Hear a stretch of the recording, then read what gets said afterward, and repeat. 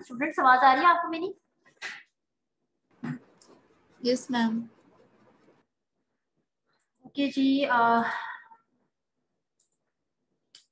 today basically our 19th lecture which is about uh, international radiology tools last uh, lecture में भी बच्चों uh, हमने introduction to the international radiology पढ़ा था ठीक है मैंने आपको बताया था कि इंटरनेशनल रेडियोलॉजी बेसिकली क्या है, क्या इसके हमारे पास बेनिफिट्स हैं, ठीक है? और उसके अलावा फिर हमने इसके कुछ टूल्स जो थे वो डिस्कस किए थे, जो मैंने आपको बताया था कि बेसिक टूल्स जो कि हम इंटरनेशनल रेडियोलॉजी के अंदर पढ़े होते हैं, ठीक है?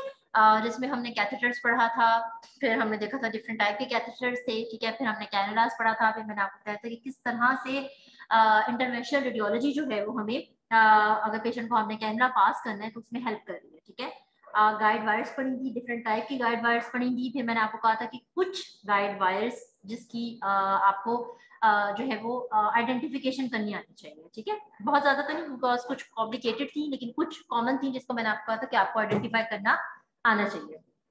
देन वास्कुलर शीट्स मैंने आपको बताया था क्या होती हैं एंड हमने Seldinger technique that is very important आपके वाइवा के और एग्ज़ाम के पॉइंट ऑफ़ व्यू से सेल्डिंगर टेक्निक जो है बहुत इंपॉर्टेंट है ठीक है? बिकॉज़ ये इंटरवेंशनल रेडियोलॉजी में हम टेक्निक बहुत ज़्यादा कॉमनली यूज़ कर रहे होते हैं। Uh, बड़ी इजी सी टेक्निक है और स्टेप बाय स्टेप हम इसको फॉलो कर लेते हैं ओके सो टुडे बच्चों we are going to discuss about the other जो मीनिंग हमारे इंटरनेशनल रेडियोलॉजी के टूल्स रह गए थे। स्टार्ट्स uh, पढ़ेंगे हम बायोप्सी नीडल्स पढ़ेंगे एमिलाइजेशन टेक्निक्स पढ़ेंगे और कॉइल्स पढ़ेंगे। ठीक है, ये अगेन सारे, जैसे हमने पहले पढ़े थे कैनरस पढ़े थे कैथेटर्स पढ़े थे शीट पढ़ी थी, इसी तरह से ये भी इंटरनेशनल रेडियोलॉजी के अंदर हमारे पास यूज़ हो रही है। आई थिंक कि अब आप लोगों को स्टंट का तो आइडिया हो गया होगा, मैंने आप लोगों को इंट्रोडक्टरी लेक्चर में भी स्टंटिंग की वीडियोस दिखाई थी। ठीक है? बायोप्सी नीडल का भी हमने जो है वो मेमोग्राफी में भी थोड़ा सा पढ़ा था कि बायोप्सी नीडल जो है वो बेसिकली हम बायोप्सी के लिए यूज़ कर रहे होते हैं। फ़र्स्ट इंट्रोडक्टरी लेक्चर में भी हमने बायोप्सी नीडल पढ़ा था कि स्पेसिफिकली जब पेशेंट का आपने कहीं से भी कोई सैंपल लेना हो और हम साइकोलॉजिकल एग्जामिनेशन कहते हैं अंडर माइक्रोस्कोप एग्जामिनेशन करनी होती है तो उसके लिए हम बायोप्सी नीडल जो है वो यूज़ कर रहे होते हैं। वहाँ से पेशेंट का टिश्यू का सैंपल लेने के लिए इसको यूज़ कर रहे होते हैं। देन एम्बुलाइजेशन टेक्निक्स जो है वो हम देखेंगे अब ये बहुत ज़्यादा हमारे पास जो है वो यूज़ हो रही है एम्बुलाइजेशन टेक्निक्स बेसिकली किसी भी एरिया में जहाँ पे हमें लगता है कि कोई एबनॉर्मल टिश्यू की ग्रोथ हो गई है, उस ग्रोथ को डेफिनेटली जब तक ब्लड मिलता रहेगा, तब तक वो ग्रोथ होती रहेगी, ठीक है? तो हम क्या करते हैं एम्बुलाइजेशन टेक्निक से थ्रू उन टिश्यूज की जो ब्लड की सप्लाई होती है, उसको ब्लॉक कर देते हैं, ठीक है? जब ब्लॉक कर देते हैं तो ऑटोमेटिकली जो एबनॉर्मल टिश्यू होता है, उसको ब्लड नहीं मिलता, वो ग्रो नहीं करता और आहिस्ता आहिस्ता क्या होता है, वो बॉडी से इसको रिमूव कर देते हैं ठीक है?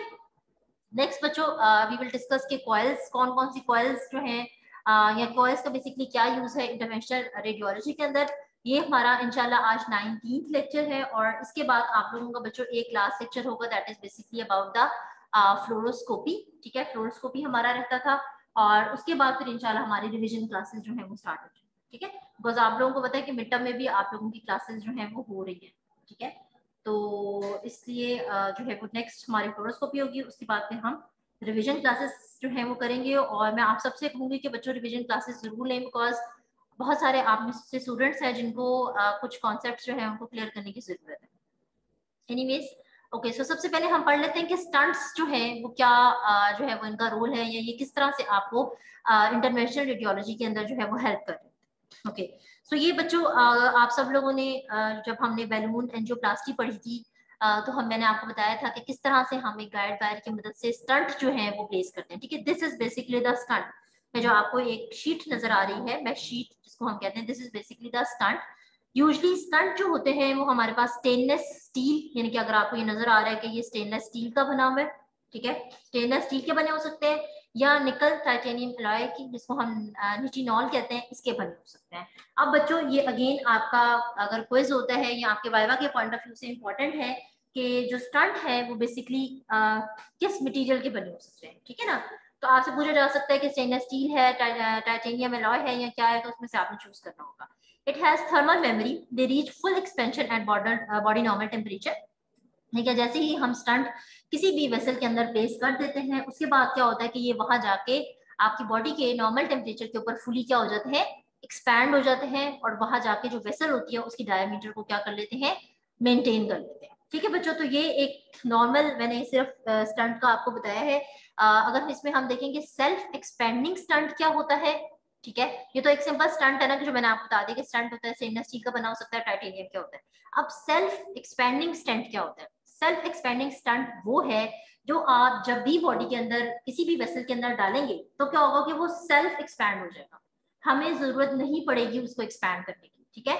आप लोगों को अगर बच्चों याद होगा तो जब मैंने आपको बेलून एंजियोप्लास्टी पढ़ाई थी तो उससे मैंने आपको बताया था कि किस तरह से हम बेलून एंजियोप्लास्टी में वायर को जो है वो कैथेटर के थ्रू बॉडी की वेसल के अंदर इंसर्ट करते हैं वहाँ जाके बेलून इन्फ्लेट करता है और इन्फ्लेट करने के बाद फिर अगर हमने वहाँ स्टंट रखना हो तो हम वायर की मदद से वहाँ स्टंट प्लेस कर देते हैं। ठीक है? और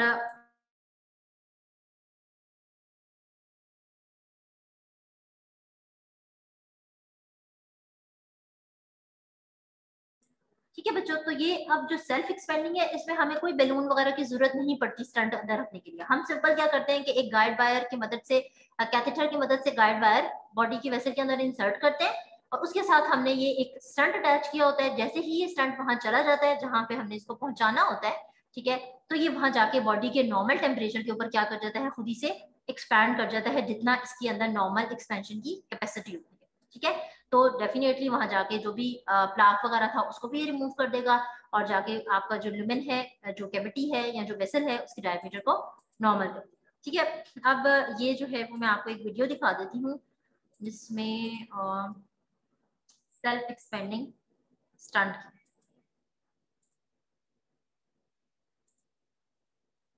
ओके जी। स्क्रीन शेयर हो गई बच्चों?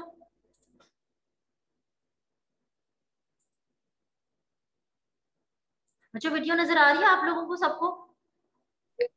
यस मैम यस अच्छा। ये देखिए बच्चों अब अगेन जैसे हमने पहले पढ़ा था किसी कैथेटर से या वायर की मदद से आप इसको जो है वो फिर इंसर्ट करेंगे।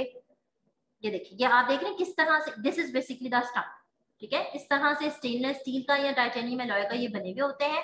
और अक्सर आप लोगों ने सुना होगा कि डॉक्टर कहते हैं कि स्टंट बेसिकली मैं वो टर्म यूज़ करूँगी जो डॉक्टर्स कर रहे होते हैं कि स्टंट डल गए हैं। ठीक है? और फिर कहते हैं कि हो सकता है कि स्टंट रिमूव कर दे। ऐसे ही होता है ना स्टंट डाल दिए। तो फिर कहते हैं स्टंट हो सकता है रिमूव कर दें। तो डिपेंड करता है कि क्या मटीरियल है। आ, हमें कभी कभी अगर ऐसा लगता है कि कोई जो प्लॉट था वो छोटे साइज़ का बना हुआ था तो हम ये कर होते हम कुछ अरसे के बाद स्टंट रिमूव भी कर लेते हैं। बट बॉडी जो है वो अगर आपको लगता है कि इसको जो है वो एडजस्ट कर सकती है। पेशेंट की प्रेजेंटेशन पे बेसिकली डिपेंड कर रहा होता है तो फिर हम इसको नहीं भी रिमूव करते। स्पेसिफिकली वो लोग जो कि जिनके और मजीद चांसेस हैं कि उनकी वेसल जो जिस वेसल में आपने स्टंट डाला हुआ है उसी वेसल के अंदर दोबारा से कोई क्लॉट आ जाए या दोबारा से कोलेस्ट्रॉल का डिपॉजिट हो जाए तो फिर हम क्या करते हैं स्टंट नहीं निकालते। ठीक है? तो ये बेसिकली स्टंट है इस तरह के जो कि अब हम आगे देखते हैं कि किस तरह से ये बेटा मैंने अभी आपको ये बताया कि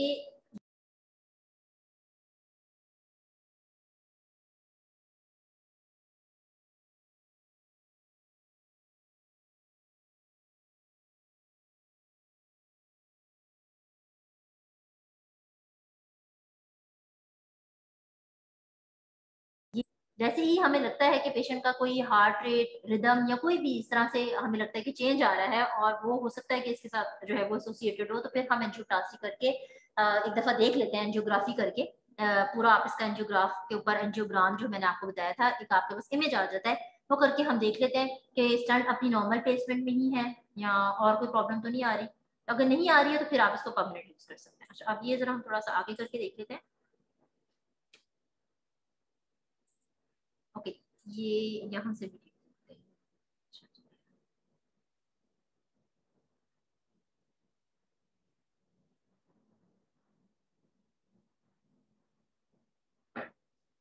ये देखिए अगर रिमूव करना हो स्टंट तो फिर इस तरह से आप उसको रिमूव कर लेते हैं ये देखिए ये एक्चुअल वीडियो है ये तो एनिमेटेड है ये जो साइड बनी थी ये एक्चुअल बच्चों ये तो सारा आप लोगों को पता चल गया है तो किस तरह से गाइड वायर हम डालते हैं। ठीक है, ये देखें। ये आपने कैथेटर की मदद से एक गाइड वायर अंदर डाली। ठीक है, और ये आपको जो है वो स्टंट नज़र आ रहा है बेसिकली हमारा ये है। कोई कौन सा बच्चा बताएगा ये कौन सा एरिया है बॉडी का? बॉयज़ में से कोई बताए? कौन सा एरिया है, कौन सा बॉडी का पार्ट है? लार्ज इंटेस्टाइन आ रहा है। रेक्टम इंटेस्टाइन मैम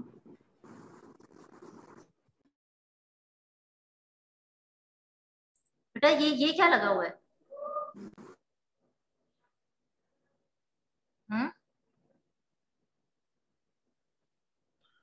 मैम ये अपेंडिक्स लगी हुई है ना साइड पे लार्ज इंटेस्टाइन है। हाँ ये लार्ज इंटेस्टाइन है ठीक है? अच्छा तो अब ये देखिए, ये इसके अंदर हमने यहाँ से ये देखे आपको ट्यूब नज़र आ रही है एंडोस्कोपी ट्यूब हमने डाली लाइट चली गई, ये सब हम लोग पढ़ चुके हैं एंडोस्कोपी के अंदर, ठीक है? ये हमने यहाँ जाके डाला स्टंट और स्टंट ने जाके क्या किया ऑटोमेटिकली वो वहाँ से ये आपका बेसिकली इसके अंदर कोई क्लॉट पड़ा हुआ है, ठीक है ना? तो अब हमने यहाँ पे कैथेटर की मदद से स्टंट डाला, और स्टंट जाके अंदर सेल्फ एक्सपैंड हो गया, ठीक है? तो ये बेसिकली आपकी पूरी हमारे पास ये टेक्निक है, मैं चाह रही थी एक दफ़ा आप वीडियो में देखें कि किस तरह से सेल्फ एक्सपैंड करते हैं। ठीक है गाइड वायर की मदद से आपने कैथेटर ये कैथेटर है, इसकी मदद से हमने ये गाइड वायर डली हुई है इसके साथ हमारे पास क्या अटैच हुआ है? स्टंट लगा हुआ है।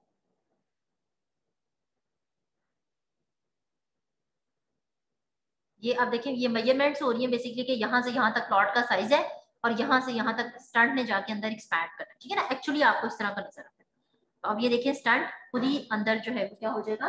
एक्सपैंड हो जाएगा।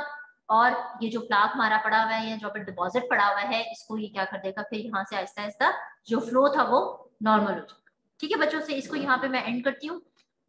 ये इस तरह से आपके पास सेल्फ एक्सपेंडिंग स्टंट जो होते हैं, वो जब भी आप किसी वेसल कैविटी या लुमेन के अंदर डालते हैं तो वो जाके खुद ही से एक्सपैंड करते हैं। ठीक है? That might be permanent that might be the temporary भी हो सकते हैं।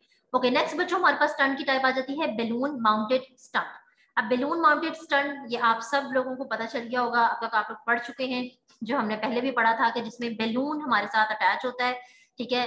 जो भी आप गाइड वायर डाल रहे होते हैं कैथेटर डाल रहे होते हैं उसके साथ जो है वो हमारे पास एक स्टंट लगा होता है, ठीक है? बेलून का ये पर्पस होता है कि वो पहले जाके वहाँ पे इन्फ्लेट करता है, जो कैविटी या जो भी वेसल नैरो हुई होती है, उसको वो जाके वहाँ से एक्सपैंड करता है, यानी कि बेसिकली वो जगह बनाता है, ठीक है? वो जगह बनाता है, जब वो जगह बना लेता है बेलून तो उसके बाद फिर हम क्या करते हैं कि स्टंट वहाँ पे डाल देते हैं ताकि जब बेलून हम निकाल दें तो स्टंट या जो वेसल है, या जो लुमिन है, या जो कैविटी है, वो दोबारा से नैरो ना हो ठीक है? Mounted over a balloon expansion of the balloon ठीक है? जो स्टंट होता है बेलून माउंटेड स्टंट वो बेलून के साथ अटैच होता है। Cost deployment of this type of the stent ठीक है? बेलून हमें हेल्प कर रहा होता है। डिप्लॉयमेंट का मतलब है कि हमने स्टंट जिस जगह में रखना है बेलून हमें हेल्प करेगा, ठीक है? आपने लार्ज इंटेस्टाइन में किसी वेसल के अंदर डालना है स्टंट तो आप बेलून कैथेटर की मदद से बेलून वहाँ तक लेके जाओगे और फिर वहाँ जाके हम बेलून को इन्फ्लेट करेंगे और साथ जैसे ही कैविटी नॉर्मल हो जाएगी तो स्टंट हम वहाँ रखेंगे और ये बेलून और कैथेटर को हम क्या करेंगे निकाल लेंगे uh, precise positioning is required and is more rigid. There are they, these are not placed over joint as, can fracture. ठीक है तो बच्चों इसकी पोजीशनिंग इसकी एक्यूरेट जगह जो है वो बहुत ज़्यादा इंपॉर्टेंट है जैसे मैंने आपको पहले भी एंडोस्कोपिक प्रोसीजर्स में बताया था कि जो भी लेप्रोस्कोपिक सर्जरीज होती है, ये हमारे पास इनके सक्सेसफुल रेट तो बहुत ज़्यादा है। बट ये जो भी सर्जन कर रहा है या जो भी डॉक्टर परफॉर्म कर रहा है, उसको जो है वो बहुत ज़्यादा एक्सपीरियंस होना ज़रूरी है। ठीक है? अगर नहीं होगा एक्सपीरियंस तो फिर वहाँ पे हमारे पास मल्टीपल जो है वो ब्लीडिंग हो सकती है, आप टीयर कर सकते हैं, बहुत कुछ कर सकते हैं, जो कि हमने लास्ट लेक्चर में पढ़ा था। ठीक है? तो प्रिसाइज इसकी पोजीशन बहुत इंपॉर्टेंट है। और अगर हमें ऐसे लगता है कि कोई ऐसी वेसल है जहाँ पे जो ज्वाइंट के करीब है और वहाँ पे हमें कोई स्टंट डालने की ज़रूरत पड़ रही है तो फिर हम कोई ऑल्टरनेटिव वे भी ढूंढते हैं बिकॉज़ वहाँ पे अगर आप इस तरह करें तो आ, हो सकता है कि एक्सपेंशन जो है वो जो आपका जॉइंट है ये जो आपकी बोन है उसके ऊपर प्रेशर डाले और वहाँ पेशेंट का क्या हो जाए फ्रैक्चर ठीक है? तो ये बच्चे दो तरह के हमारे पास हो गए हैं स्टंट एक था हमारे पास सेल्फ एक्सपैंडिंग स्टंट और दूसरा कौन सा है? बेलून माउंटेड स्टंट ठीक है जी? बेलून माउंटेड स्टंट में स्टंट को बेलून हेल्प कर रहा है और सेल्फ एक्सपेंडिंग में स्टंट जो है वो हमारे पास खुद ही जो है वो जो है वो एक्सपैंड कर। ठीक है जी अब बेलून में भी मैं जो आपको दिखा देती हूँ वैसे तो हम लोगों ने इसे भी काफ़ी दफ़ा बेलून वाला जो है वो हम आ, देख चुके हैं।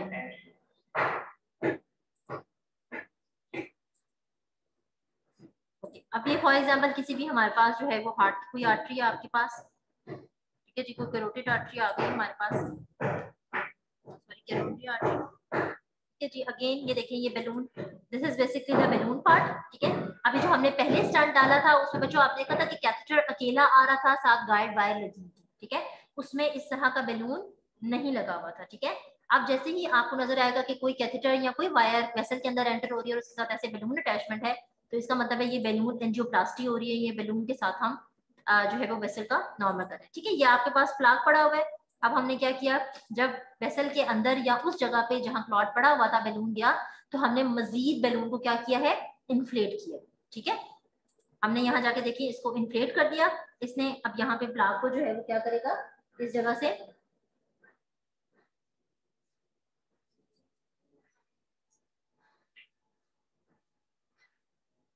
अच्छा जी। अब हमने जैसे मैंने आपको बताया था कि बैलून जो है वो क्या करता है? स्टंट के लिए हमें जगह बनाना होता है। ठीक है तो हमने इन्फ्लेट करें डीफ्लेट करें। आपको नज़र आ रहा है।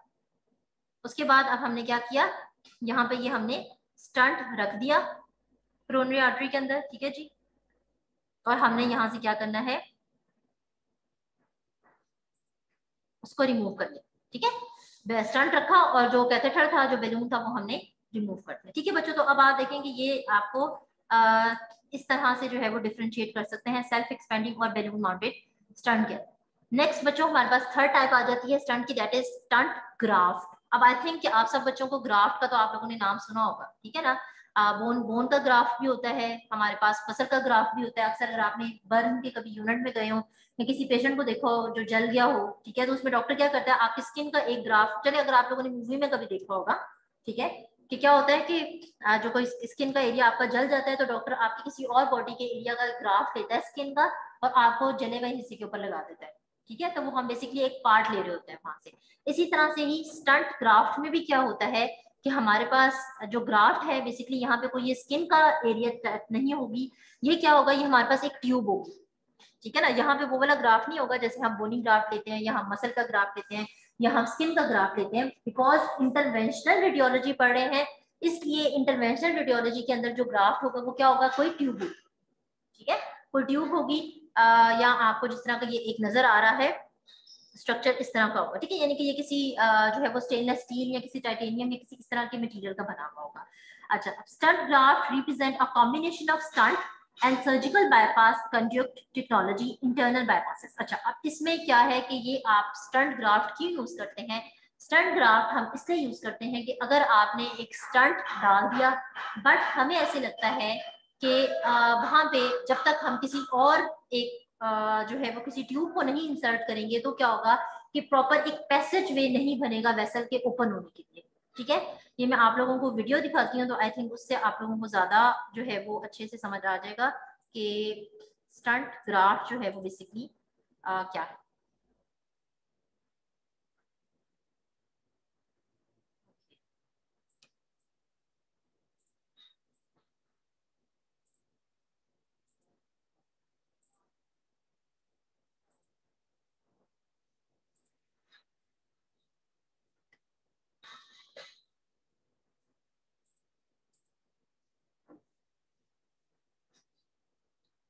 ठीक है जी अब हम स्टंट ग्राफ्ट देखने लगे कि क्या है। आपके जो एब्डोमिनल का जो एब्डोमिनल पार्ट है बेसिकली फॉर एग्जांपल हम कहते हैं वहाँ पे एन्यूरिज्म जो है वो बना है, ठीक है, ये आपको नज़र आ रहा है। ठीक जी एब्डोमिनल एयोटिक एन्यूरिज्म है, ये हमारे पास। अब हमने इसको क्या करना है, इसके रिपेयर करना है डेफिनेटली ठीक है जी। तो अब आप इसके लिए जो है वो हम स्टंट ग्राफ जो है वो यूज़ करेंगे। तो ये अगेन आपने एक गाइड वायर डाली पेशेंट की।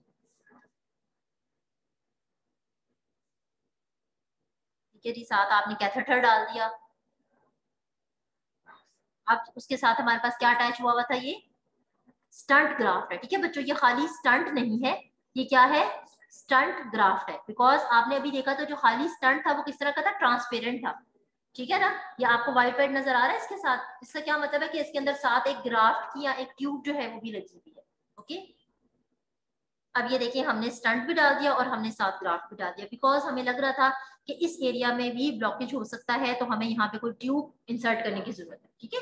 या किसी ग्राफ को डालने की ज़रूरत है। तो हमने क्या किया?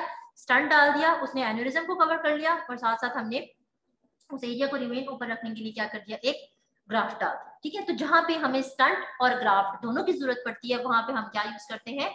स्टंट ग्राफ्ट यूज़ ठीक है? अब ये डिपेंड करता है कि आपने इसको कहाँ प्लेस करना है? आप लोग इस पर जो है वो इतना ज़्यादा फोकस ना करें कि कहाँ प्लेस करना है, ये क्या है, या वो जो भी है। आपको जस्ट इसका थोड़ा सा आइडिया होना चाहिए कि स्टंट ग्राफ जो है वो बेसिकली क्या होता है।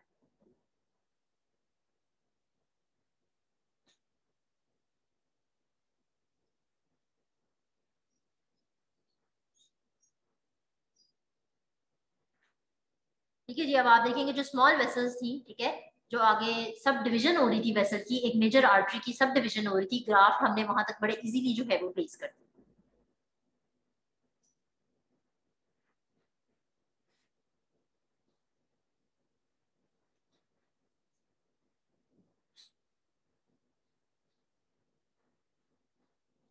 अब आप देखें, जहाँ जहाँ ये पूरा जा चुका है, वहाँ पे क्या होगा कि जो फ्लो था वो नॉर्मल हो जाएगा, ठीक है? उस आर्टरी का फ्लो जो है वो क्या हो जाएगा? नॉर्मल हो जाएगा। ठीक है, ये देखिए फ्लो जो है वो हमारे पास आराम से क्या हो गया? नॉर्मल हो। ठीक है? तो आप देखें कि किस तरह से हमने, अगर खाली यहाँ पे हम प्लेस करते तो क्या होता कि ये जो इसके स्मॉल चैनल्स थे, ये ब्लॉक ही रहते।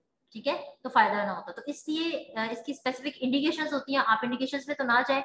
आपको सिर्फ़ ये वीडियो दिखाने का मकसद ये है कि आपको पता चल जाए कि एक नॉर्मल स्टंट और स्टंट ग्राफ्ट जो है, वो उसमें जो है वो क्या डिफरेंस होता है। ओके जी। अच्छा ये वाले पार्ट आ गए हैं इसके अंदर। ये तो मैंने रिमूव करना था। आप लोगों के लिए ओके बच्चों, ठीक है? तो आपको पता चल गया, बच्चों नॉर्मल की स्टंट क्या होता है, ठीक है? और स्टंट की हमारे पास मैंने आपको तीन टाइप्स पढ़ाई है, जो कि आपके एग्ज़ाम के पॉइंट ऑफ़ व्यू से इंपॉर्टेंट है। कि what are the three types of the stent ठीक है? तो बैलून माउंटेड स्टंट हो गया सेल्फ एक्सपेंडिंग हो गया, और थर्ड हमारे पास हो गया, ठीक है? स्टंट ग्राफ्ट अच्छा जी, अब ये बच्चों, आप लोगों को सिर्फ़ वीडियो दिखाने का पर्पस ये है कि मैं आपसे वीडियो से रिलेटेड तो क्वेश्चन नहीं होगा कि किस आर्टरी के लिए आप इसको यूज़ करते हैं। आपको वीडियो दिखाने का मकसद ये कि आपको कॉन्सेप्ट क्लियर हो जाए कि normal stent balloon mounted stent और ग्राफ्ट स्टंट जो है वो इसमें क्या डिफरेंस होता है। ओके नेक्स्ट हमारे पास आ जाता है बायोप्सी नीडल ठीक है जी नेक्स्ट आपके पास जो इंटरवेंशनल रेडियोलॉजी टूल है दैट इज़ बायोप्सी नीडल इससे आप लोग सारे आई थिंक वेल अवेयर हैं। बायोप्सी नीडल नेम ही इंडिकेट कर रहा है कि वो नीडल जो कि हम बायोप्सी के लिए यूज़ कर रहे हैं। A biopsy needle is the instrument used to obtain a tissue as specimen for microscopic examination to find out cases of malignancy in patients. ठीक है बच्चों, ये आप सब पढ़ चुके हैं कि हमने कहीं भी भी ब्रेस्ट में या किसी भी बॉडी के एरिया में थायराइड में कहीं पे भी हमारे पास लगता है कि कोई एबनॉर्मल टिश्यू ग्रो कर रहा है या स्पेसिफिकली मिलिग्नेंट टिश्यू ग्रो कर रहा है ठीक है, वो बिनाई नहीं है, हमें लग रहा है कि वो ट्यूमर है, वहाँ पे ट्यूमर की ग्रोथ हो रही है तो हम क्या करते हैं कि वहाँ से बायोप्सी न्यूरल बायोप्सी की हेल्प से वहाँ से एक स्पेसिमन लेते हैं टिश्यू का सैंपल लेते हैं और उसको माइक्रोस्कोपिकली उसकी एग्जामिनेशन करते हैं, ठीक है? तो बायोप्सी नीडल आपको उसमें हेल्प कर देती है।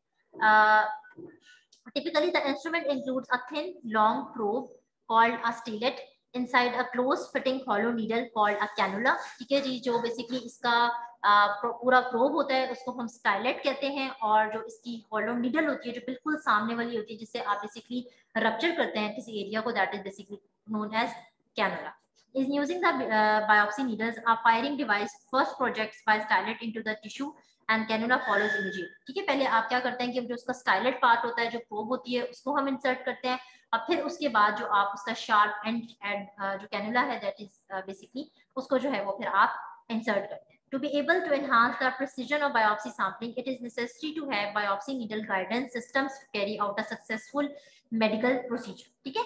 तो अब बच्चों ये जो लास्ट वाली लाइन है इसका ये मतलब है अगर आप लोगों को याद होगा तो मैंने आपको पढ़ाया था किस तरह से हम एंडोस्कोपिक गाइडेड बायोप्सी कर रहे थे। ठीक है? क्योंकि इंटरवेंशनल रेडियोलॉजी में हम बायोप्सी नीडल पढ़ रहे हैं तो इसका मतलब है कि जहाँ जहाँ से आप सैंपल ले रहे होंगे पेशेंट का वहाँ आपको एक मोनीटर के ऊपर या एक स्क्रीन के ऊपर सारा साथ इमेज नज़र आ रहा होगा, ठीक है? आपने ऐसे नहीं किया कि पेशेंट बैठा हुआ है और आप उसके ब्रेस्ट टिश्यू की बायोप्सी कर रहे हैं और बस वहाँ से आपने सैंपल लिया ऐसा नहीं होगा, ठीक है? इंटरनेशनल रेडियोलॉजी में जो हम बायोप्सी नीडल यूज़ करते हैं, उसमें आपको कोई ना कोई आपको जो हमारे पास रेडियोलॉजिकल मोडेलिटीज हैं अल्ट्रासाउंड है एंडोस्कोप्स हैं, ये जो भी है, वो आपको हेल्प करेंगी कि आपको साथ साथ एक इमेज जो है वो नज़र आ रहा होगा, ठीक है? जैसे हमने endoscopic guided cannulization last lecture में पढ़ी थी ठीक है? कि किस तरह से आपने पेशेंट को जो था वो कैनुला जो था वो लगाया था with the help of the ultrasound तो इसी तरह से बायोप्सी नीडल्स आपको हेल्प करती है। Okay okay. ये uh, जो है वो हमारे पास कोएक्सियल डिस्पोजेबल गाइड ये बच्चों डिफरेंट इसकी हमारे पास टाइप्स हैं। Coaxial disposable guide disposable biopsy needles fine aspiration needles soft touch spring loaded biopsy needles wet Westcott biopsy needles disposable automatic core biopsy needles आपको इसमें से अगर सारी नहीं भी याद रहती तो आप एटलीस्ट थ्री कोई जो है वो, जो भी आपको आसान लगती है, उसका आप नाम याद रख सकते हैं। ठीक है कि आपसे वैसे वाइवा में एग्ज़ाम पॉइंट ऑफ़ व्यू से पूछा जा सकता है कि बायोप्सी नीडल क्या होती है। कोई भी आप थ्री बायोप्सी नीडल्स की एग्ज़ाम्पल दें। ठीक है तो आपको इसमें से जौन सी भी डिस्पोजेबल बायोप्सी नीडल आसान है कोएक्सियल बायोप्सी नीडल आसान है, आप ये याद कर सकते हैं वेस्ट कॉट बायोप्सी नीडल ये आप इजी वाली इसमें से कोई सी जो है वो याद कर सकते हैं। Okay traditional fine needle aspiration biopsy needles which harvest cells for cytological evaluation ठीक है जी बच्चों ये हमारे पास basically fine needle aspiration cytology needle जिसको हम एफ़ एन ए सी भी कहते हैं। कि आपने कहीं से भी जो है वो आ, कोई सैंपल लेना है टिश्यू का ठीक है? और आपने उसकी जो है वो अंडर माइक्रोस्कोप एग्जामिनेशन करनी है उसके लिए हमारे पास ये डिफरेंट तरह की जो है वो नीडल्स होती हैं। जो कि हमने पीछे भी पढ़ी है कि वेस्ट फॉर्ड थी आ, कुछ और हमने डिफरेंट वहाँ पढ़ी है ये यहाँ पे डिफरेंट लिखी है ठीक है? आप बेशक इनको जो है वो ना पढ़ जो है वो याद करेंगे मैंने सिर्फ़ इसलिए डाली थी कि आपको इसका जो ये पिन पॉइंट है ठीक है? That is basically the cannula ये आपको पता चल जाए कि किस तरह का होता है ठीक है? देखिए इसका राउंडेड है इसका किस तरह से जो है वो जैसे पेन की जो है वो होती है निब होती है उस तरह का है ठीक है? ये और शार्प है। तो ये डिपेंड कर रहा होता है कि डॉक्टर ने कहाँ से किस टिश्यू की जो है वो हमने बायोप्सी करनी है। सो so, ये this is none of your business ठीक है कि आपको इसमें से कोई टेंशन लेने की ज़रूरत नहीं कि इसमें से आप याद करें कि किसको कौन सी ज़रूरत है। आप सिर्फ़ ये याद रखेंगे बायोप्सी नीडल क्या होती है ठीक है और यू शुड नो कि what are the three different types of the biopsy needles that's it ठीक है ये आपको सिर्फ़ समझाने के पर्पज से है कि डिफरेंट तरह का इनका जो है वो टाइप्स होती है। Okay semi automatic biopsy needle ठीक है जी? ये अगेन इसकी डिफरेंट हमारे पास टाइप्स हैं इसमें से सेमी ऑटोमेटिक बायोप्सी नीडल है बायोप्सी गन है ये ठीक है? अब हम इसके नहीं जाएँगे कि ये बायोप्सी गन हम किस पर्पस के लिए यूज़ करते हैं। सिर्फ़ आपको इसका नाम जो है वो पता होना चाहिए ठीक है? कि अगर आपसे पूछा जाए तो आप जो है इसमें बता दें। ओके सो बच्चों हो गए हमारे पास क्या हो गया? स्टंट्स पढ़ लिया हमने डिफरेंट टाइप्स के ठीक है जी? बैलून था uh, आपके पास सेल्फ एक्सपेंडिंग था और जो है वो आपके पास जो है वो स्टंट ग्राउंड से ठीक है, अब उसके बाद हमारे पास आ रहा था बायोप्सी नीडल और उससे भी मैंने आपको कहा कि कुछ जो कॉमन है वो आप याद रखें और इसका आपको सिर्फ़ पर्पस पता होना चाहिए। थर्ड हमारे पास आ रहा था एम्बुलाइजेशन एजेंट या एम्बुलाइजेशन टेक्निक्स कौन कौन सी है। ठीक है, अब ये क्या है हमारे पास? ये हम देख लेते हैं। A procedure that uses particles such as tiny gelatin sponges और beads to block a blood vessel Embolization may be used to stop bleeding or to block the blood flow to a tumor or abnormal area of tissue. ठीक है? अभी बच्चों, मैंने आपको lecture के start में ये बात बताई है कि एम्बुलाइजेशन हम क्या कर रहे होते हैं कि किसी भी अगर हमें लगता है बॉडी में टिश्यू है और वो एबनॉर्मली ग्रो कर रहा है ट्यूमर बन रहा है तो हम क्या करते हैं कि जो उसकी न्यूट्रिशन सप्लाई है दैट इज़ बेसिकली ब्लड ठीक है? हम उस ब्लड को जो है वो स्टॉप कर देते हैं, ठीक है? यानी कि आप ब्लड वेसल को जो है वो क्या कर देते हैं ब्लॉक कर देते हैं। और वो किसकी हेल्प से ब्लॉक करते हैं? आ, हमारे पास डिफरेंट बीड्स है ये जेलेटिन स्पॉन्जेस है ठीक है? ये डिफरेंट छोटे छोटे से पार्टिकल्स होते हैं। आप इसको वेसल्स के अंदर एम्बुलाइजेशन टेक्निक के थ्रू से जो है वो इंसर्ट करते हैं और वहाँ पे वो वेसल हो जाती है ब्लॉक और जब ट्यूमर को या एबनॉर्मल टिश्यू को ब्लड नहीं मिलता तो वो ऑटोमेटिकली ग्रो नहीं करता ठीक है?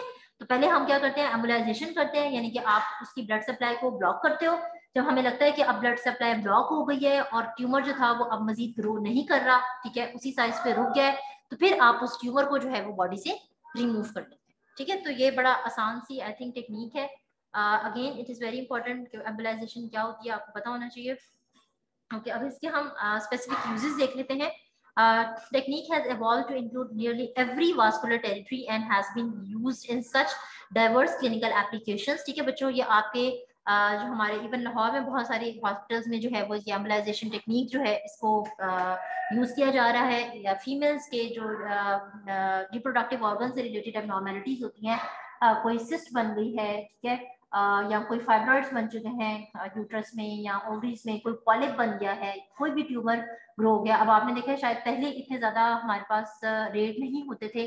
अब फीमेल में कैंसेरियन ट्यूमर फाइब्रॉइड्स और इनफर्टिलिटी ये बहुत ज़्यादा कॉमन है ठीक है? आप लोगों ने भी शायद नोट किया सो so, वो सारे अब हम जो है उसको किस तरह ट्रीट करते हैं? एम्बलाइजेशन के थ्रू जो है वो ट्रीट करते हैं। इसी तरह से और भी कहीं भी आपकी बॉडी में आ, कहीं पे भी जीआईटी में कहीं भी हमारे पास कोई अल्सर है उसको भी आप इसके थ्रू जो है वो एम्बलाइजेशन के थ्रू जो है वो ट्रीट कर सकते हैं। ओके सो नंबर वन हमारे पास इसका क्या यूज़ है बच्चों? ट्रीटमेंट ऑफ़ ट्यूमर्स जो कि मैंने अभी आपको पहले बताया है वेरिकोसिटीज ठीक है जी? वेरिकोस वेन्स है कहीं पे, आप उसको जो है वो, इसके थ्रू जो है वो ब्लॉक कर सकते हैं vascular malformation aneurysms and pseudo aneurysms ठीक है जी? कहीं पे भी बॉडी में वेसल्स के अंदर आपके एन्यूरिज्म्स बने हुए हैं तो उसको जैसे भी हम, मैंने आपको एब्डोमिनल एयोटा का दिखाया था, ठीक है? तो उसमें भी हम एम्बलाइजेशन भी कर सकते हैं कि उस वेसल को आप ब्लड सप्लाई को ब्लॉक करें, फिर उसको वहाँ से जो है वो यूज़ करें।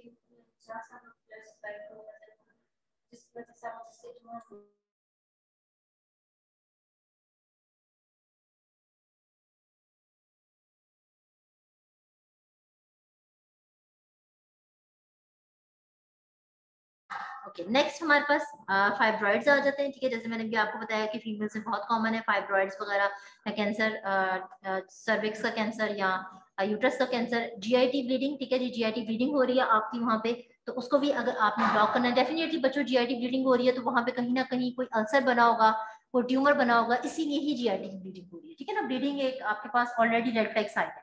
सो इन सब केसेस में आप क्या कर सकते हैं कि हम एम्बुलाइजेशन करेंगे उस एबनॉर्मल टिश्यू को हम ब्लड ही सप्लाई बंद कर देंगे। जब हम ब्लड सप्लाई बंद कर देंगे तो वो ग्रो नहीं करेगा और ऑटोमेटिकली uh, आपका वो जो पार्ट है वो ट्रीट हो जाएगा। ठीक है? ये देखें ये मैंने एक पिक्चर यहाँ पे ऐड की हुई है। ये हमारे पास यूट्रस में fibroid that is basically an abnormal tissue ठीक है? इसकी ग्रोथ हुई हुई है। हमने क्या किया है? एम्बुलाइजेशन की मदद से जो यूट्राइन आर्टरी जो कि बेसिकली यूट्रस को सप्लाई कर रही थी, हमने ये आपको नज़र आ रहे हैं पार्टिकल्स या बीड्स ठीक है? ये हमने इंसर्ट किए। जब हमने ये डाल दिया तो ये क्या होगा यहाँ पे ब्लॉकेज लग गया। जब इसको ब्लॉकेज लग गया तो यूट्राइन आर्टरी को हमने ब्लॉक कर दिया। अब फाइब्रॉइड को क्या होगा? मजीद ब्लड नहीं मिलेगा। जब इसको ब्लड नहीं मिलेगा तो ये ऑटोमेटिकली ग्रो नहीं करेगा और फिर आप क्या करेंगे, इस फाइब्रॉइड को बॉडी से रिमूव कर ठीक है? And with an with help of an other laparoscopic surgery with help of an other surgical treatment ठीक है? तो इस तरह से एम्बुलाइजेशन जो है वो हमें हेल्प करी होती है। You should know that what is embolization and आपको जस्ट इसके यूजेस या इसकी कोई एक एग्जांपल जैसे मैंने आपको U A E artery embolization या इसको हम यू एफ़ ई या यूट्राइन फाइब्रॉइड एम्बुलाइजेशन भी कहते हैं। ठीक है ये आपको इसका सिर्फ़ नाम जो है वो याद होना चाहिए और इसकी कॉन्सेप्ट होना चाहिए। अच्छा जी आ, ये पार्ट हम इसको मैंने डिलीट किया हुआ था। ये लेक्चर में कैसे आ गया ये एक्चुअली ये है कि अगर आ, किस तरह की वेसल्स हों लार्ज वेसल्स हैं स्मॉल वेसल्स हैं तो उसके अकॉर्डिंगली फिर हम उसको यूज़ करते हैं। ये मैं आपको यहाँ से बता देती हूँ। देखिए बच्चों लार्ज वेसल है या स्मॉल वेसल है हमें सबसे पहले ये देखना होता है जब भी हमने एम्बुलाइजेशन करनी होती है। ठीक है? या अगर हम देखेंगे इसकी क्लिनिकल इंडिकेशन के लिए तो हम सबसे पहले देखेंगे कि किस वेसल के वो जो है, उसकी हमने एम्बुलाइजेशन करनी है। किस वेसल का ब्लड जो है, वो हमने ब्लॉक करना है? बिकॉज़ हो सकता है कि वो वेसल किसी और एरिया को भी सप्लाई कर रही है। ठीक है ना? ये तो नहीं है कि वो वेसल आपका सिर्फ़ एबनॉर्मल टिश्यू को सप्लाई कर रही है। तो हमें ये भी देखना पड़ता है कि वो वेसल कौन सी है और उसका सप्लाई कहाँ कहाँ पे जा रहा है। ठीक है? तो जो उस स्पेसिफिक एबनॉर्मल टिश्यू को उसका सप्लाई होता है, उसको हमने रोकना होता है। बाकी टिश्यू के जो है, वो सप्लाई को रोकना नहीं होता। सो so, हम अगर देखें हमें लगता है कि लार्ज वेसल है ठीक है? और वहाँ पे जो भी आ, पड़ा हुआ है हमने उसको परमानेंटली ब्लॉक करना है ठीक है? तो उसके लिए फिर हम कॉयल्स यूज़ करते हैं ओके अगर हमने परमानेंट ब्लॉकेज करना हो तो हम कॉयल्स यूज़ करेंगे और अगर हमने वहाँ पे जो है वो टेम्परेरी उसको सिर्फ़ ब्लॉक करना है जब फाइब्रॉइड हम निकाल देंगे तो फिर जेलेटिन या जेल फोम स्पॉन्ज या जो भी हमने एम्बुलाइजेशन के लिए इंसर्ट किया हुआ था उसको फिर हम वहाँ से निकाल देंगे ठीक है तो वो टेम्परेरी है इसी तरह से बच्चों अगर हमें लगता है कि जो वेसल है वो स्मॉल है जिसकी हमने एम्बुलाइजेशन करनी है तो आ, हम कोई पार्टिकल्स इस्तेमाल करेंगे ठीक है? आपको देखो आगे लिखा हुआ है नो ऑर्गन डेथ मतलब हमने ये देखना होता है कि उस ऑर्गन की तो हमने डेथ नहीं करनी ना। मतलब आप फॉर एग्ज़ाम्पल फाइब्राइड के चक्कर में यूट्रस को ही जो है वो डेड कर दें। ऐसे नहीं करना होता ठीक है? हमने सिर्फ़ देखना होता है कि कौन सी आर्टरी की कौन सी ब्रांच उस एबनॉर्मल टिश्यू को जो है वो सप्लाई करनी बस आपने उस ब्रांच को जो है वो क्या करना है? एम्बुलाइज करना है। अच्छा जी, इसी तरह से अगर स्मॉल वेसल में हमारे पास हमने टेम्परेरी ब्लॉकेज करना है तो हम पे gel form particles related collagen ये सारे जो है वो यूज़ करें। ठीक है बच्चों? सो आप लोग सिर्फ़ ये याद रख लें, अगर ये मैंने आपको सिर्फ़ एक एग्ज़ाम्पल के लिए बताया है, ताकि आपको मजीद जरा क्लियर हो जाए कि अगर हमने परमानेंट ब्लॉकेज करना है या टेम्परेरी ब्लॉकेज करना है तो उसमें हमारे पास एम्बुलाइजेशन के लिए डिफरेंट हम फिर मटीरियल जो है वो यूज़ कर रहे होते हैं। ठीक है? आपको सिर्फ़ पता होना चाहिए कि what is embolization what are its uses ठीक है? और आपको कोई एक एग्ज़ाम्पल इसके जो है वो साथ पता होना ओके नेक्स्ट बच्चों हमारे पास आ जाता है कॉयल्स ठीक है? हमने जो है वो स्टंट्स पढ़ लिए हैं, ठीक है? फिर हमने जो है वो कॉयल्स अब इम्बलाइजेशन पढ़ ली है हमने, ठीक है? और फिर अब जो है वो हम बायोप्सी नीडल पढ़ी और अब हम आ गए हैं किसके ऊपर? कॉयल्स के ऊपर आ गए अच्छा जी। अब कॉइल्स क्या है? आपके पास first embolic coils consisted of pieces of stainless steel guide wires onto which strand of wool had been woven to add a matrix for thrombus formation. ठीक है जी, कहीं पे भी बॉडी में आपका कोई थ्रोम्बस बना हुआ है तो आप जो है वो डिफरेंट तरह की स्टेनलेस स्टील की कॉइल्स को with the help of the guide wire body के अंदर इंट्रोड्यूस कराते हैं। ठीक है बच्चों, अब गाइड वायर हमने लास्ट लेक्चर में पढ़ा था कि किस तरह की थी। उस गाइड वायर से आप फिर क्या करेंगे? कॉइल्स को जो है बॉडी के अंदर जहाँ भी थॉमस बना हुआ है वहाँ हम डाल सकते हैं। Stainless steel coils are best suited for high flow applications due to their high radial force which prevent dislodging ठीक है? ज़्यादातर हम जो कॉइल्स यूज़ करते हैं वो स्टेनलेस स्टील की यूज़ करते हैं ठीक है? आ, इनकी जो क्वालिटी होती है वो बहुत ज़्यादा अच्छी होती है। आप रेडियल फोर्स पे जो है इतना ज़्यादा ना फोकस करें ठीक है? इनकी जो क्वालिटी होती है वो बेसिकली हाई होती है उसको हम हाई रेडियल फोर्स कहते हैं, और वो किसी भी प्लॉट को जो वहाँ पे पड़ा होता है वेसल के अंदर, उसको वहाँ से डिसलॉज करने में या रिमूव करने में आपको हेल्प कर रही है। Platinum coils are highly visible under fluoroscopy and are much softer than stainless steel ठीक है? इसी तरह से ही अगर हमें कोई और टाइप की कॉयल यूज़ करनी है तो हम प्लेटिनम कॉयल्स भी यूज़ कर सकते हैं। और फॉर एग्ज़ाम्पल अगर हमने जो है वो कॉयल पेशेंट की बॉडी के अंदर इंसर्ट करनी है और हम अंडर फ्लोरोस्कोपी कर रहे हैं ठीक है? अब आप लोगों ने वैसे फ्लोरोस्कोपी तो नहीं पढ़ा हुआ लेकिन जैसे हमने एंडोस्कोपी पढ़ा है इसी तरह से फ्लोरोस्कोपी भी हमारे पास होती है ठीक है?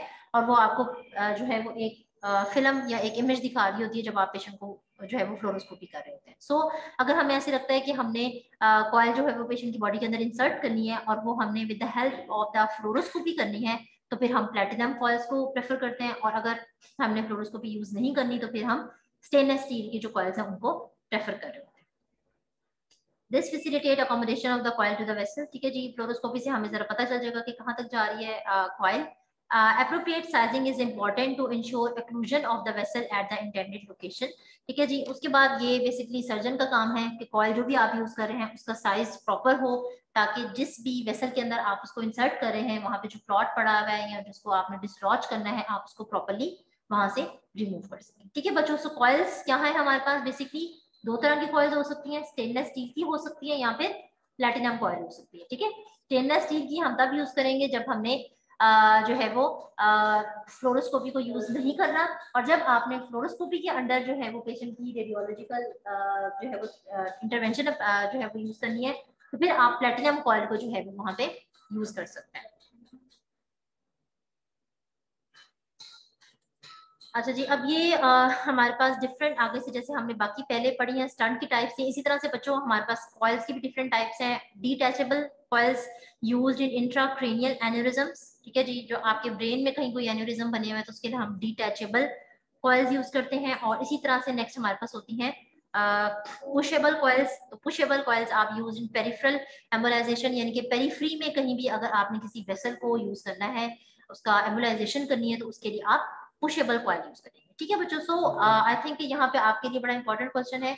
Uh, आपको आ सकता है। Uh, अगर कोई होता है आपका यहाँ एग्ज़ाम कि इंट्राक्रेनियल एन्यूरिज्म के लिए कौन सी कॉइल होती है? तो आप कहेंगे डिटैचेबल कॉइल ठीक है? और अगर हम पूछते हैं कि पेरिफेरल एम्बोलाइजेशन यानी कि पेरिफेरल एरिया में किसी भी आपने वेसल की एम्बोलाइजेशन करनी है तो आप कौन सी कॉइल यूज़ करोगे? तो आप कहेंगे कि पुशेबल कॉइल यूज़ करेंगे ठीक है? So you should know coils क्या होती है। Uh, उसके अलावा जो दो टाइप की हम कॉइल्स बॉडी में मोस्ट कॉमनली Uh, यूज़ कर रहे हैं। ब्रेन के लिए और पेरिफ्रल एरिया के लिए। Okay uses of coils embolization with coil produces a focal occlusion leaving the vessel distal to the coil pattern similar to surgical ligature ठीक है जी? बेसिकली होता क्या है? ये जो कॉयल आप यूज़ करते हैं, जैसे हम एक सर्जिकल सुचर लगाते हैं, इसी तरह से और की हेल्प से हम वहाँ पे क्या करते हैं? एक सुचर लगा रहे हैं। ठीक है? तो ये एमोलाइजेशन में आपको कॉयल जो है वो बेसिकली हेल्प कर रही होती है कि आप जो सर्जिकल सुचर लगा रहे हैं वो इस कॉयल की हेल्प से आप वहाँ पे सुचर लगा सकते हैं। Therefore, coils are utilized in almost any application in which precise vessel occlusion but not tissue ablation is necessary. ठीक है अब एब्लेशन क्या होता है? आ, आप टिश्यू को वहाँ से रेडियो वेव्स के थ्रू जो है वो डैमेज कर देते हैं। ठीक है? तो जहाँ पे हमने डैमेज नहीं करना रेडियो वेव्स नहीं डालनी एब्लेशन नहीं करनी, वहाँ पे हम कॉयल्स को प्रेफर नहीं करते because itself stainless steel की बनी है। अगर आप वहाँ पे रेडियो वेव्स यूज़ करेंगे और वहाँ पे उस एरिया को जला देंगे, ठीक है तो क्या होगा कॉइल वहाँ पे पड़ी हुई है तो ये भी स्टेनलेस स्टील की है तो ये फिर इफ़ेक्ट हो जाए ठीक है? तो जहाँ पे हमें लगता है कि हमने बॉडी में एब्लेशन नहीं करनी रेडियो फ्रिक्वेंसी वेव से उस एरिया को डैमेज नहीं करना, वहाँ आप कॉयल यूज़ कर सकते हो। और जहाँ हमने एब्लेशन करनी होती है, फिर हम वहाँ पे कॉयल यूज़ नहीं करेंगे। ओके uh, ये आपके पास uh, जो है वो bilateral uterine arteries were abolished using pushable coils there there was no further bleeding patient was stable ठीक है? तो आपने क्या किया कि ये देखें ये हमने कैथेटर की मदद से ये एक कॉयल डाली ठीक है? ये आपके पेशेंट की जो है वो यूट्रस uh, की आर्टरीज है ठीक है? यूट्राइन आर्टरीज है। जब हमने कॉयल डाली तो यहाँ पे पेशेंट आपके पास आया था उसकी ब्लीडिंग हो रही थी। जब हमने कॉयल डाल दी ठीक है? ये देखिए यहाँ तक कॉयल चली गई है ये इस तरह से। अब इंसर्ट हो चुकी है ये कॉयल तो उसके बाद क्या हुआ कि पेशेंट की जो ब्लीडिंग थी वो रुक गई, ठीक है? देखो बच्चों, अब आपको यहाँ पे इतना ज़्यादा तो नहीं, अभी आइडिया लेकिन जो पेशेंट को एबनॉर्मल ब्लीडिंग वगैरह हो रही होती है, उसका रीजन यही होता है कि कहीं ना कहीं कोई टिश्यू में या एबनॉर्मल ग्रोथ हुई होती है या बॉडी के अंदर कोई ना कोई पैथोलॉजी चल रही होती है, ठीक है? और एक पेशेंट की बॉडी होती है, वो आपको एक रेड फ्लैग साइन दे रही होती है कि भाई अब जो है वो आपको कोई सर्जिकल इंटरवेंशन या किसी मेजर इंटरवेंशन की तरफ़ जाने की ज़रूरत है, ठीक है? तो बजाय इसके कि आप जो है वो पेशेंट की एक मेजर सर्जरी परफॉर्म करें और उसको ब्लीडिंग को रोकने की कोशिश करें। हमने क्या किया हुआ है कि अब हम इंटरनेशनल रेडियोलॉजी के थ्रू इनको स्टेप बाय स्टेप चलाते हैं, ठीक है? या हमारी कोशिश होती है कि हम पेशेंट का मिनिमम छोटा सा कट लगा के आप छोटे टाइम के अंदर पेशेंट की सर्जरी जो है वो परफॉर्म करते हैं ठीक है? तो यही इंटरनेशनल रेडियोलॉजी हमें हेल्प करिए जो कि हम डे वन से पढ़ तो आप जो एम्बुलाइजेशन है वो with the help of the coil जो है वो भी कर सकते हैं ठीक है? यानी कि अगर आपने वहाँ पे पार्टिकल्स नहीं डालने जेलेटिन पार्टिकल्स नहीं डालने कोई बीड्स नहीं डालने तो आप सिंपल वहाँ पे कॉयल डालेंगे और उस वेसल को वहाँ पे सुचर लग जाएगा ठीक है? वो ब्लॉक हो जाएगी और ऑटोमेटिकली उस टिश्यू की जो नॉर्मल टिश्यू था उसको ब्लड नहीं जाए ठीक है? तो ये इस तरह से जो है वो आप कॉयल एम्बुलाइजेशन करते हैं। आ, ये वीडियो एक हम देख लेते हैं।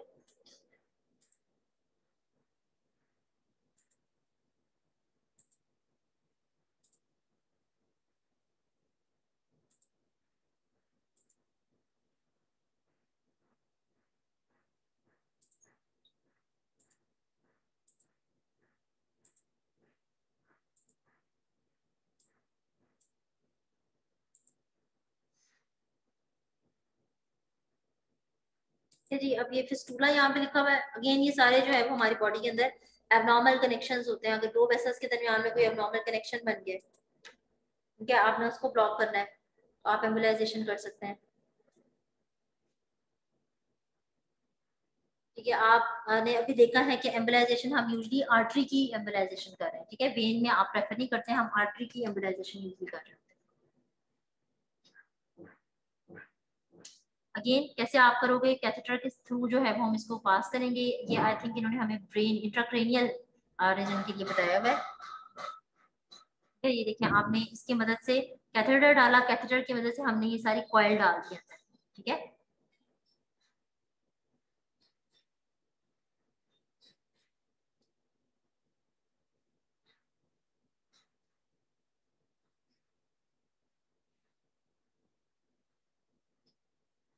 अब ये देखिए कॉयल चली गई अंदर। ये देखें आप बच्चों? ये सुचर लग गया। ठीक है? जैसे मैंने आपको बताया था कि सर्जिकल सुचर या सर्जिकल लाइगेचर जिसको आप कह रहे हैं तो कॉयल हमने डाली और कॉयल ने वहाँ जाके हमारे पास क्या किया? इस तरह से सर्जिकल सुचर लगा दिया और वो जो भी एरिया में हमें एन्यूरिज्म था ब्रेन में बना हुआ या वट जो है नॉर्मल ग्रोथ थी, उसको फिर वो वहाँ से क्या हो जाएगी? ब्लॉकेज हो जाएगी। ठीक है? ये देखिए कॉयल ने यहाँ पे इसको ब्लॉक कर दिया। और अभी जैसे मैंने आपको बताया था कि सारी वेसल्स को नहीं करना। हमने उस वेसल को करना है जो कि हमें लगता है कि आपके टिश्यू एबनॉर्मल टिश्यू को जो है वो सप्लाई करें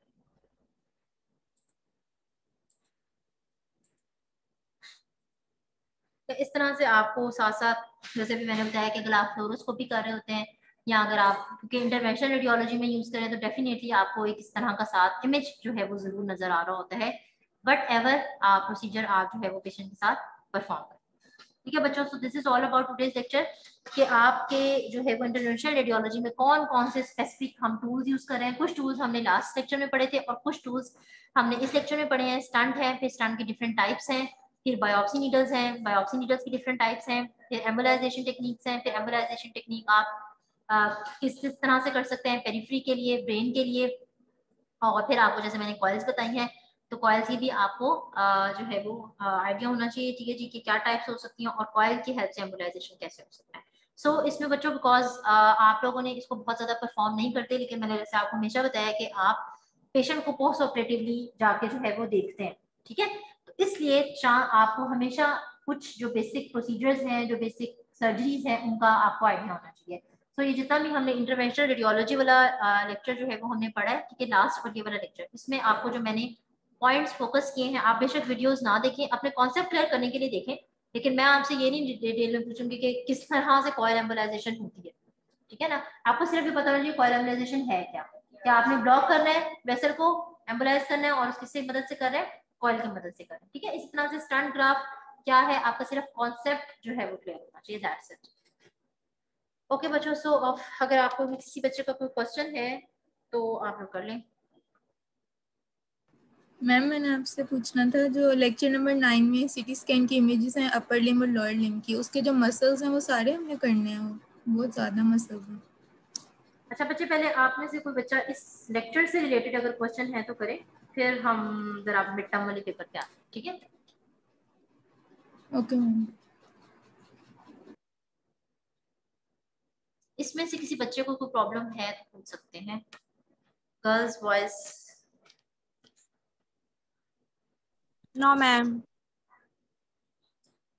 ठीक है इंशाल्लाह बच्चों नेक्स्ट हमारा जो लेक्चर है that is fluoroscopy I don't know आप लोग मिड टर्म में क्लासेस लेते हैं या नहीं लेते हैं बट फ्लोरोस्कोपी का एक लास्ट लेक्चर है तो आप लोग ले लीजिएगा ताकि आप लोगों को पता चल जाए फ्लोरोस्कोपी से रिलेटेड अच्छा जी uh, बच्चों आई थिंक मैं ये क्लास एंड कर देती हूँ और नेक्स्ट जो काउंसलिंग आर वाली है वो मैं स्टार्ट कर देती हूँ तो आप लोगों ने जिसने ज्वाइन करना है या मिड टर्म से रिलेटेड जो भी पूछना है आप उसमें पूछ लें फिर ठीक है? ओके मैम वो मैंने आप लोगों के साथ लिंक शेयर किया हुआ ना? वो वहाँ से आप लोग ज्वाइन करें। ठीक है जी? और वहाँ से फिर हम उसमें जो है वो डिस्कस कर लेते हैं। ये मैं एंड कर देती हूँ बिकॉज़ रिकॉर्डिंग फिर आपके मैम अभी ज्वाइन कर सकते हैं? हाँ जी बच्चे मैं अभी ही स्टार्ट करने लगी हूँ ठीक है? आप लोग अभी ज्वाइन कर लें। बस ये मैं एंड करके वो स्टार्ट करती हूँ आप लोग वो ज्वाइन करें।